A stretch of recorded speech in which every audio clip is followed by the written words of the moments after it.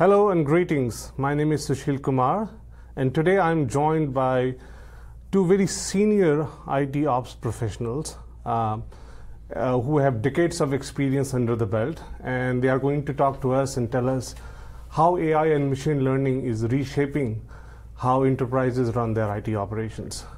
Uh, Dan Ellsweig is uh, uh, architect at Coty.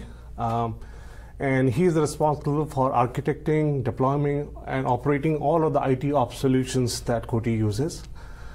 Uh, Karl Kleinert is uh, VP at IntelliNet. Uh, IntelliNet, for those of you who don't know, many of you probably already do, is a premier managed service provider. Uh, they specialized in network uh, management, in cloud innovation, as well as information technology services and they have clients um, that are spread over 25 countries around the globe, right? Nice so, to Thanks for having me. Great, yeah, gentlemen. Thank you, thank you for being here. Uh, you know, it's always good to hear the actual, the field perspective down from the trenches, right? So so far we have talked a lot about what AI means, uh, what the what is the data science behind it, um, and how it could potentially impact uh, the IT operations. But this is our opportunity to hear from directly from the horse's mouth, right? so. Um, so Dan, you know, uh, let me just uh, turn over to you. Um, and maybe, you know, one of the things that is always amazing about Coty is the Coty is a leader in beauty products. Uh, it's a very competitive industry, right? Yes, it is. So how are you using AI and machine learning to set the bar higher in an industry that is already so competitive? What we're doing and what we, have done in the very short term uh, in AI, I, I don't know if you want me to go directly to your question or go to the yeah, slides. Sure, yeah, okay, we'll do the yeah. slides first because yeah. I, I, will address that. Uh, a little bit about Coty, uh, just in case anyone knows. We're primarily manufacturing beauty products. We're a leader in the industry. Um, Next slide, yeah. Yep. yeah, uh, we're in 150 plus countries, a ton of brands, and we try to make some money in the business. We're doing pretty well at that. In our own environment, uh, what we started to do here is take together the cloud environments, what everyone's been talking about, the, the lake, all the bits and pieces that we've been collecting and working on for years and doing a pretty good job on the operations perspective and making that data available to the machine. And hopefully the machine will help guide us and not do it for us, but guide us into where are the problems, how best to address those problems uh, the, the journey we took to get here is rather interesting, and I think a lot of people in the industry are doing the same thing you know, we've spent a lot of time getting our hands around the data center, the event yep. streams, the alarm streams, how many tickets get generated, and we've heard a lot about that this yep. morning. And yep. the, the, same thing. And logs and right, other, yep. Right, and we're lucky at Coty in that we had the opportunity from the very beginning to limit the event flow. Yep. To say, yes, we're going to log this, we're going to dump it in the database, we're going to dump it in the lake. Mm-hmm. But our operations side, the guys who keep the lights on, we're not going to overwhelm them. Yep. We're going to say, you know, the box is on fire, deal with that, do mm-hmm. it. Uh, over the years, we, we've gotten to the point now where we're, we've gone from an event-centric reactive state to a service-centric. We, we can now look at that alarm and say that it impacts wireless service in Barcelona, or mm. it impacts payroll, or it impacts some application. So focus on what matters for the business rather than the plumbing. Correct, yeah. correct. Yeah. And and but operations is still handling the plumbing. Yes. Yeah. but they do have a little vision into what that plumbing is affecting yep. now. Mm-hmm. Mm-hmm. And the next step, you know, operations will get an alarm. This whatever's happening in the infrastructure. They might do some triage on that alarm, ultimately ticket and hand it off to an engineer. Mm-hmm. Uh, what we're hoping in the AI platform is initially that they'll start to look at that triage step that they did, which in the old world they went either pinged it and polled it or whatever they needed to do, and say, okay, what's the machine telling me about this? Why is there a hotspot here? Mm-hmm. And maybe give more information to the engineer who is going to act on that. On the other side of the house, we have the huge data lake now that we've been sitting on, and we're trying to make that available to management, IT mm-hmm. management, who's really had no way of looking at other than looking in the mean time to resolution numbers, yep. you know, the yep. ticketing numbers, those yep. things.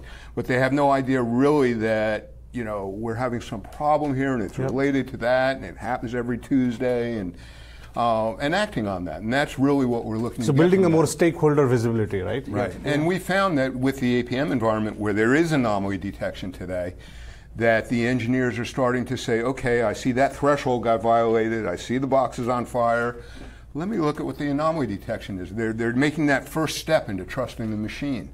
And that's exciting. Yeah, that, yeah. that I think is how we're going to proceed here. Yeah, yeah. One of the most important things is the first point on this slide, uh, first couple points on this slide is the quality of the data. And uh, that was touched on earlier.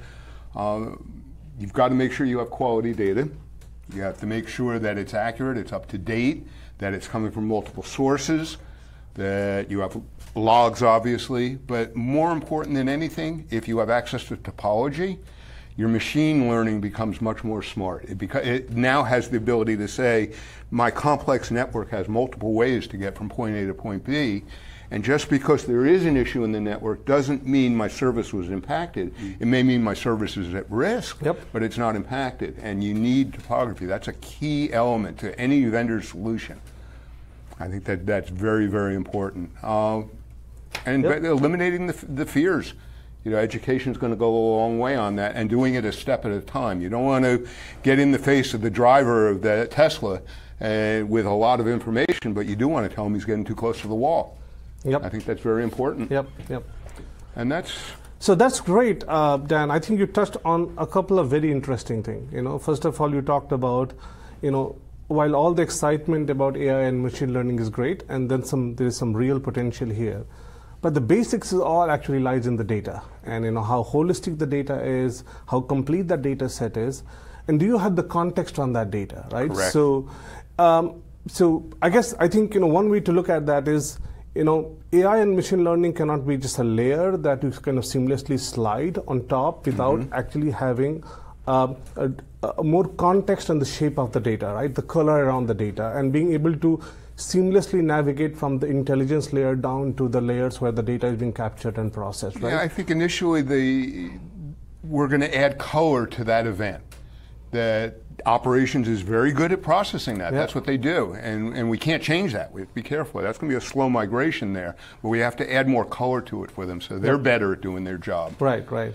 And that's one of the things that we are trying to do here at CA is that operation intelligence is a way for us to bring what used to be the siloed domains, hmm. bring it all together, provide holistic end-to-end view, but with the seamless visibility down, right, to the hmm. underlying layers. So if you see at a high level that you have a service level problem and being able to just quickly go down to the layer, whether it's a server or network, and then from there go down to the actual the network tools, right, mm-hmm. to see and get more details. Because, you know, this bidirectional communication is you know, very That's very a, that's a, important. that's a key because there's a lot of vendors that are coming on market with AI solutions. Pop this black box in your network and everything will be wonderful.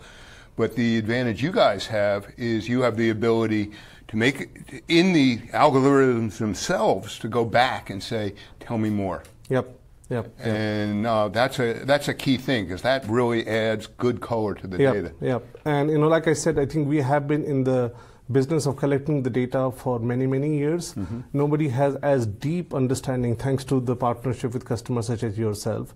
And then operation intelligence becomes the next logical layer where we bring more insight and more, uh, you know, you know, able to handle uh, the large volumes of data and extract, you know, a handful of insights there. Great. Now, Karl, uh, you are in a very unique vantage point, Mm. right? You know, um, like I said, you have customers across 25 countries around the globe. We do.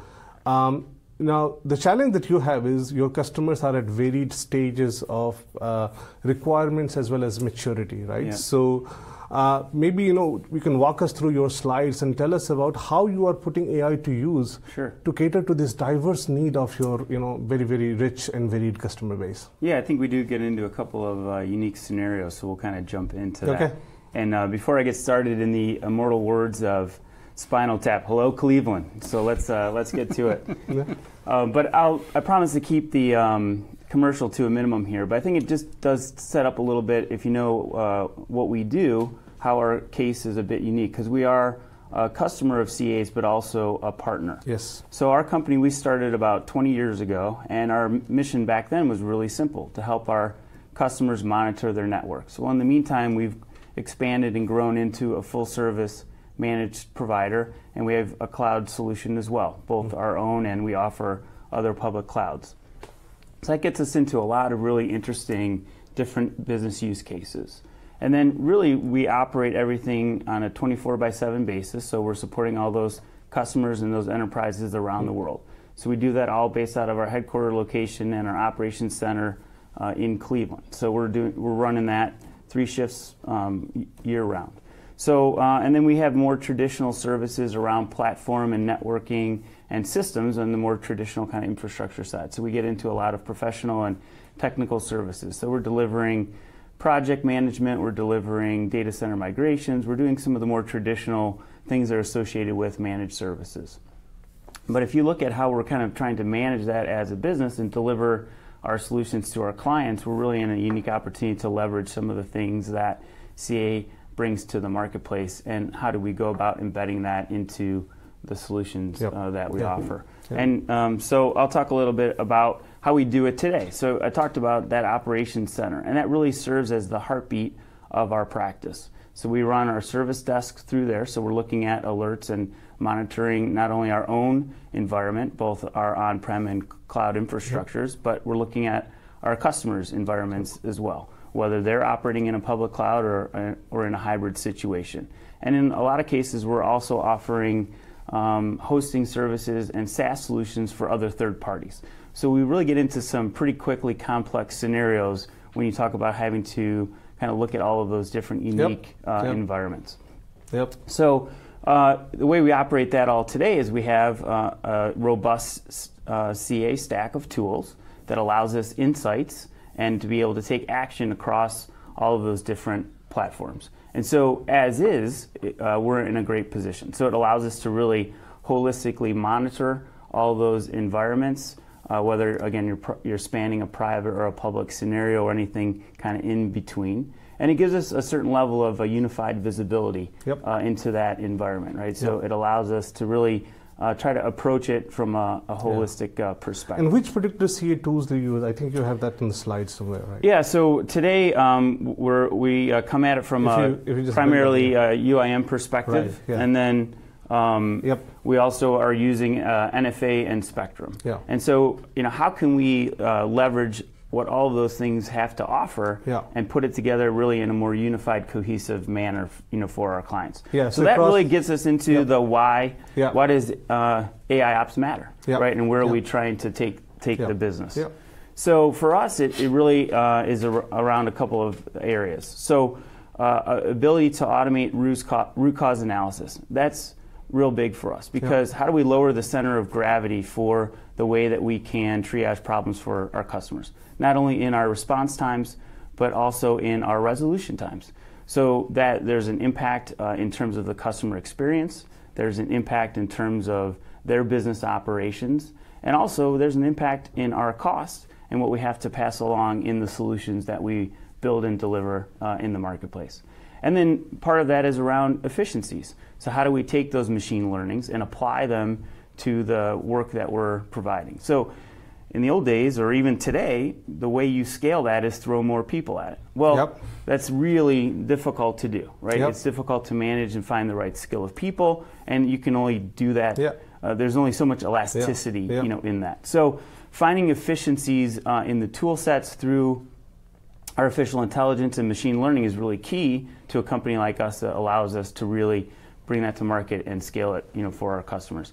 And then it's really um, about actionable insights. So you talk about all these pools of data that we have, and it can be really overwhelming trying to manage that and use it in a productive way, right? So we look at how are we planning to move our business forward? What additional or incremental investments do we need to make in our environment? What kind of guidance can we give to our clients in terms of what their needs might be? How mm-hmm. can we anticipate that and be on the front end of the curve rather than being reactive all the time? Yep. So it's not just about the data for data's sake, but how do we you know extract some actionable insights from it? Yeah. So we're really um, enthused about what uh, AI has to offer uh, in that area, and that's part of our journey and where we're going. So if you look at it, um, you know, more broadly across our business, it really um, is helping us in kind of three primary ways, right? So if we look at um, from an insight perspective, how can we leverage other resources um, and, and enable our operating center technicians to go deeper into solving the problem before it's required an escalation yeah. to a level three Yeah. or a more Yeah. senior Yeah. person. And again, that affects responsiveness and efficiency Yep. and the customer uh, experience.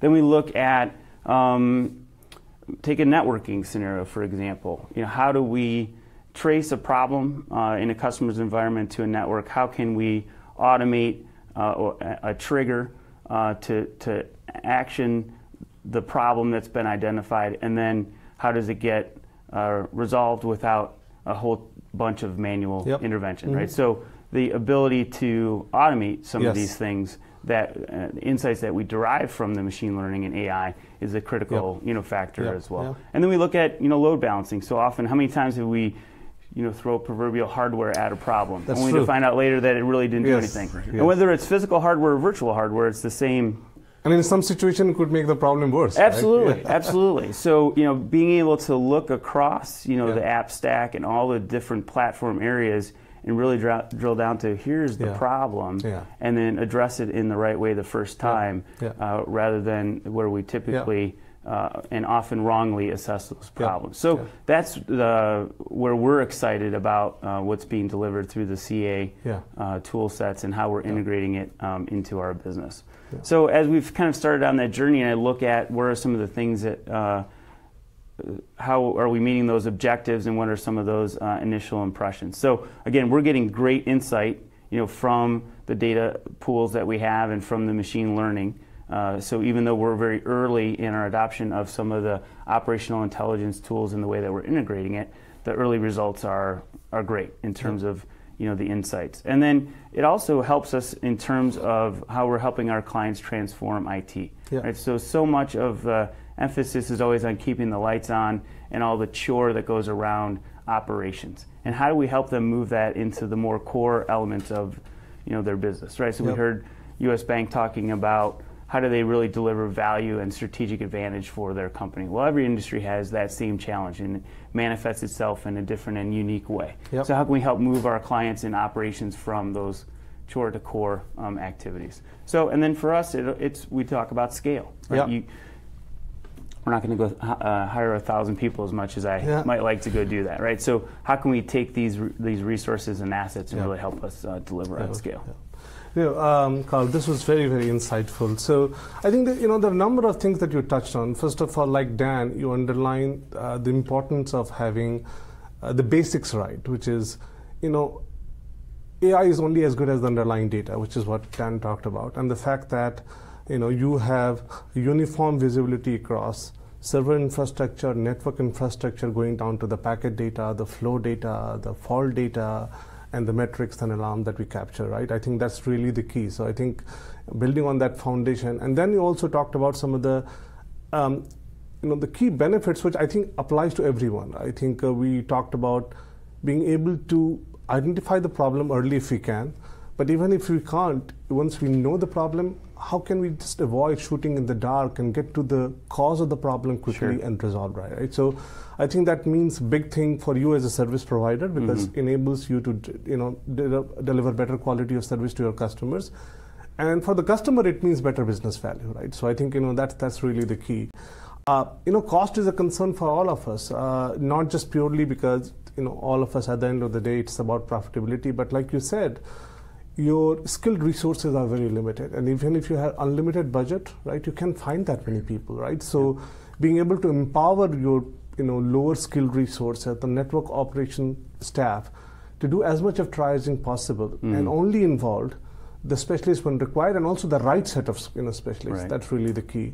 And the third thing, I think it goes back to the point that Dan you also made that once you have all this data, uh, the, all the IT data, and you can commingle that with any kind of business KPIs, all of a sudden you open a gold mine of information for your business stakeholder, which is the business insights, right? And which is so critical because increasingly our businesses are becoming digital, right? So we do probably as much business online as we do in stores, probably more going into the future. So Right. In the absence of human contact, your digital data lake actually just becomes your conduit to learning more about your customers. So that's, you know, I think this is fabulous. I think uh, both of you have pointed out a very pragmatic, practical, and step-by-step journey on how you start from wherever you are today to adopting AI in a practical manner and then set some objective goals. Uh, but particularly, Karl, you know, because you are a, you are a customer on your own because you run your data center. Yeah. On top of that, you provide services to your customers, and then you are also a SaaS hosting um, services company. So, Right. you know, I think in many ways your challenges are like you know aggregation of challenges that we see across a diverse customer base. So, Sure. What advice that you would have for your peers without spilling any of your competitive secrets, right? But Yeah. I'm sure there are other people in the audience who are thinking, okay, well, how should I start from, and you know, how should I go about you know beginning this journey? Sure. Well, I'll start by giving CA some credit. So, for example, our clients are challenging us how do I homogenize heterogeneous data, right? Yeah. And so you can't do that if the only way, the only thing you can use is a CA stack. Yeah. So I give you guys a lot of credit for making the environment open, Open, yep. and having third-party integrations. Yeah. So in order to really deliver robust solutions today, you have to be able to, you know, cast a wide net. And you know, we also see from our use case that you know adding multi-tenancy features and things like that really make it more easy for us to integrate these into our solutions and then deliver those into the market. So that provides value to clients in terms of how we uh, integrate the technologies.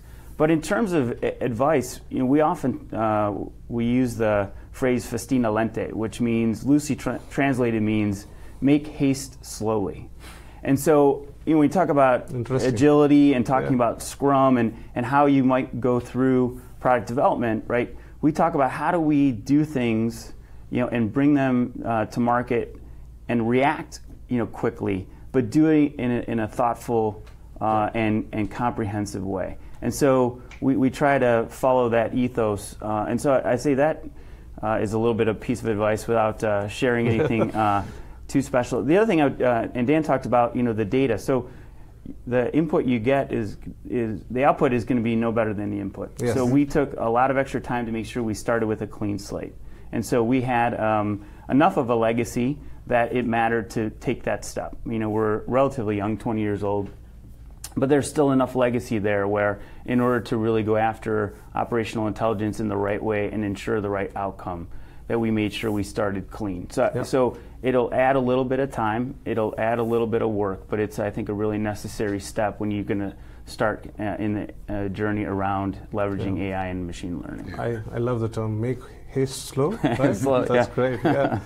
uh, great. Um, so, you know, a question for both of you. Um, you know, given how far you have come along in your AI journey, and e- even though I say far, I think as practitioner you'll always say that you're already the beginning, right? yeah. um, what does it mean for future of IT ops, right? How does IT ops, you know, the role of IT ops change in the future? Again, one of the other phrases that I borrowed, which is from chores to core, right? Which is, uh, you know, any, any, any, can, can you elaborate on what it means for IT becoming st- much more strategic player, you know, towards their business goals, right? Yeah, we and Dan knows this uh, better than I do. You know, we're being asked to do more with less, you know, all the time. So you still have the burden of legacy, you still have the burden of making sure everything is operationally sound. But you add on top of it all the complexities of modern business, managing multiple cloud environments, security. And so how do you extract yourself from the things that bog you down, that just keep you going, and, and be able to leverage the scarce resources that you have uh, and apply those in a meaningful way to the business. That are, and so, you know, the core is not around um, applica- and not around the technology stack Itself, itself, yes. but it's around it- help. yeah, it's it's around what it, what do Yeah. you, what's unique to your industry Yeah. and how do you help your company, you know, grow Yeah. or do something uh, competitive. I don't see AI as, as making a lot of decisions. Uh, I think that'll take a long time till we trust the machine to let Hal open the pod pay Yeah. doors. uh, but I think uh, what, what we're seeing is that IT management has, has started to ask us to, you know, in the business, supplement their decisions, show us real numbers, real facts, real projections uh, that are going on. And the other side of it is on the operation side of the house is to help them keep the lights on. Yep. Give them more information so they can make better decisions, open better tickets, and Yep. uh, everybody gets smarter from it. And I, I think if we introduce those bits slowly and not upset the apple cart, I, I think we, we can make this succeed. Yep. really you know, well. so you know, move towards more data-driven and decision making, right? Which is which is really the key. Uh, finally, I think you guys have both been excellent partners. So, how would you summarize your, you know, journey with CA so far? Right? It's been fun. I mean, I think that's the best way to put it. No, one of the things that I found with uh, the partnership we have with CA is that you guys listen. You know, I have access through CA that I don't have with any other vendor. Uh, I, I can pick up the phone and, and, and call any of you guys. really, and, and that's unheard of. Yeah. And the other side of it is, and again to your credit, is a lot of the things that we've pointed out over the years, whether I'm with Coty or somewhere else in these tools, have found their ways into the tools. Yep. And, and this piece specifically, and Yeah. two years ago at CA World, we were talking about search capabilities Yeah, and how yeah. could you add it so that I can go backwards into these tools. It's there now. Scott. Yeah, I, I would second a lot of that. So, you know, we have a fairly unique model. CA has really done a lot to orient themselves to the unique requirements of service providers. So, whether we're talking about our, you know, uh, working with CA as a traditional reseller, whether we're talking about the use case uh, around as a service provider or in the professional services space. So, we're fortunate to have a multi-layered relationship, you know, with CA but w- but you guys have really done a nice job of taking that input and turning it into business models you know that work for us. And the same thing on the product side. We talked about multi-tenancy a little bit earlier right? Some of the core underlying products that we use don't have a multi-tenancy legacy. Yeah. but as you uh, get into and enhance the operational intelligence products you've taken that into consideration in Yep. terms of the openness and the way that you've designed it. So Well- we've been really pleased with with that as well Well, thank you so much. You know, we exist to serve your needs. I think your success is our success. Careful what you but, say. Uh, no, absolutely, we mean it. But once again, you know, thank you, gentlemen, for being here, for sharing your very uh, hands-on perspective, but most importantly, for continued collaboration. We we really value you. Thank you. Pleasure. Yeah, Thank you so you. much for watching. Um, I hope you found this discussion enlightening and as, as enlightening as I found. Uh, we have a great session coming up, which is you know how AI and automation is transforming the lives of SREs. So as they say in TV, don't change the channel. Stay tuned. Thank you.